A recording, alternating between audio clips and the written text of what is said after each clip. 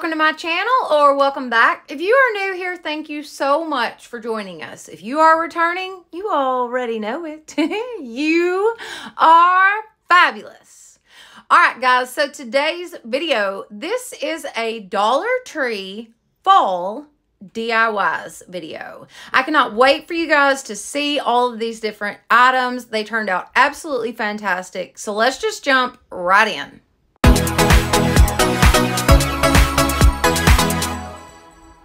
So for this first one, I have got four of these little crates from the Dollar Tree along with three of these little cathedral windows.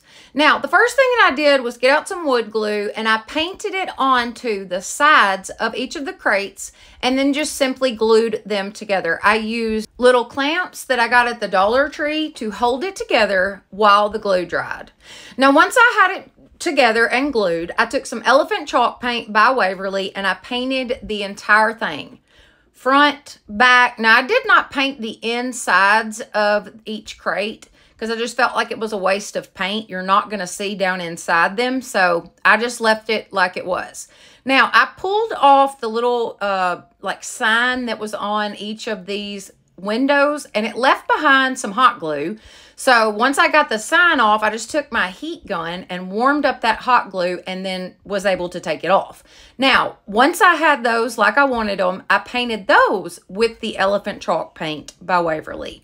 Every little nook and cranny, inside and out. Now, I've got Antique White by Apple Barrel and a chip brush. And what we're going to do is just simply dry brush each of these pieces. And guys, they turned out so, so pretty. The combination of the elephant and then the contrast of that uh, lighter color, the antique white, is just gorgeous. I, I absolutely love it. So I dry brushed all of the windows. I then began to dry brush my crates, which they dry brushed perfectly.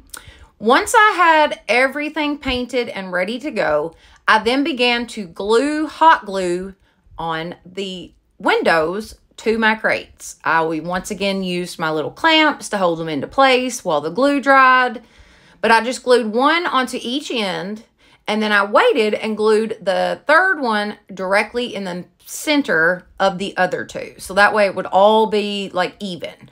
I cut down some floral foam and tossed that into each of my crates and then use some hot glue to glue them into place. Now, once I had that right, I cut down all of my florals and began to simply place them into the floral foam. Super duper simple, you guys. There's nothing to this. There's no rhyme or reason. Just put your florals in. Promise it's going to turn out perfect. So once I had all of my florals in, guys, this is what it turned out to be. And I absolutely, absolutely love it.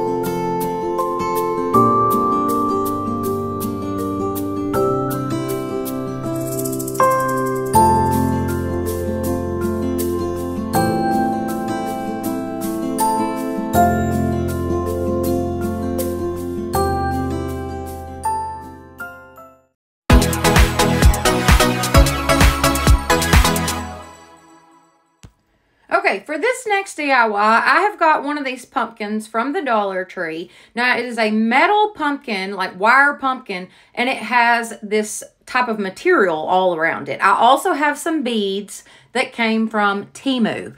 Now, I started off by taking the material off of my pumpkin. I strictly want that metal pumpkin that is on the inside, the form that's on the inside. Super simple to get off. Just snip it in a couple places and pull and you can get it right off. Now, I snipped the bottom end of one of those uh, wire pieces and started to put my beads on it. Very, very simple. Now, when I got to the end, when I had it completely full, I added some hot glue to the end of that bead and I glued it right back into place where it came from. Super, super simple, you guys. This is such an easy DIY. Um, I just continued to place beads on this wire form. I would snip it at the bottom, place my beads on, and then glue it back into place. So, so simple. And the hot glue worked totally fine for this project. Um, I added a little bit of twine to the stem and check out how stinking cute this pumpkin is. I also added one of those little votive candles to the middle and I just think it is adorable, you guys.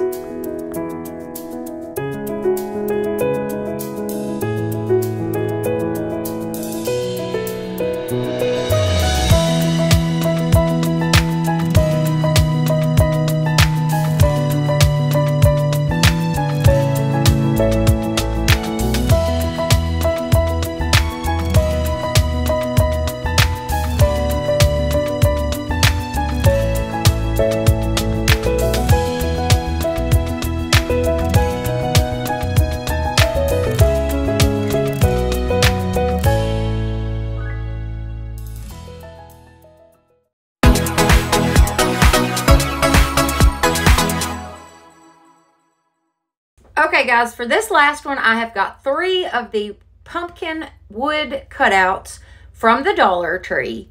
Now, these are super thin, but you can make it work.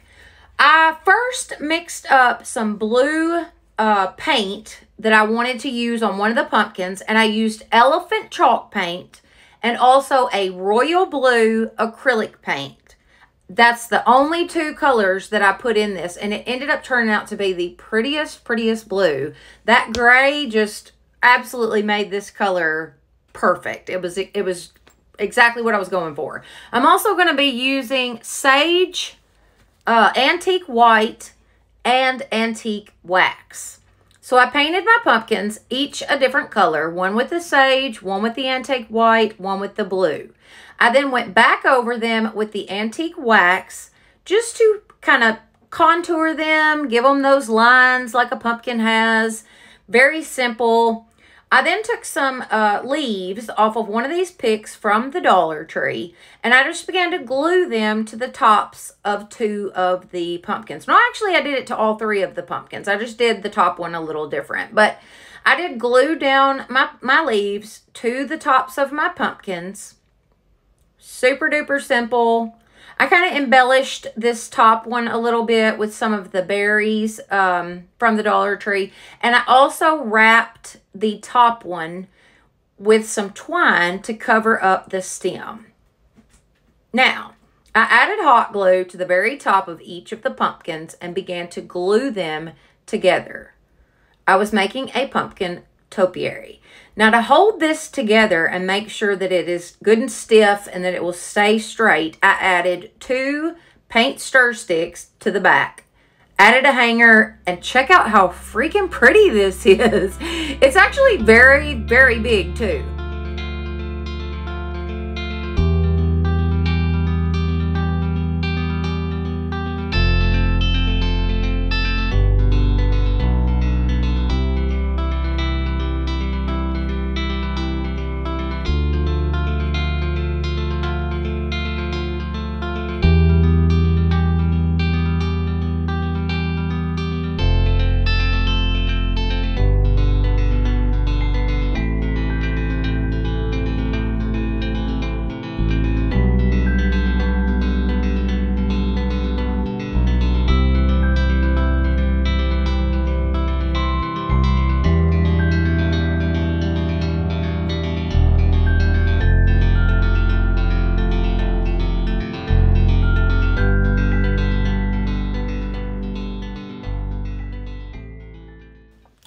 That is it for today. Thank you so much for being with me. I truly do appreciate you guys watching these videos. It gives me a lot of inspiration and I love making these videos for you guys. So if you did enjoy this video, please give it a thumbs up. It totally helps my channel. Don't forget to share this with your friends and family and subscribe. That would be awesome. Plus hit that notification bell so that you will know each time I upload a new video. All right, guys. Thank you so much for being with me. And y'all have a blessed day.